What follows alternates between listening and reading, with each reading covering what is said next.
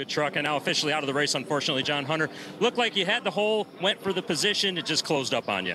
Yeah, it did. Uh, that one's on me. Um, I put myself in a vulnerable spot and should have known better. Uh, should have leaned on experience for that. But it's so hard to pass today here. Uh, our Toyota Tundra I felt like was fast.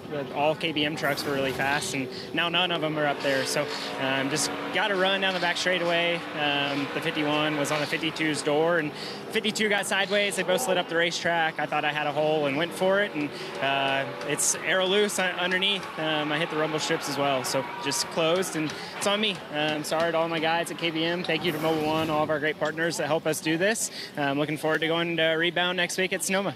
Thanks for talking to us.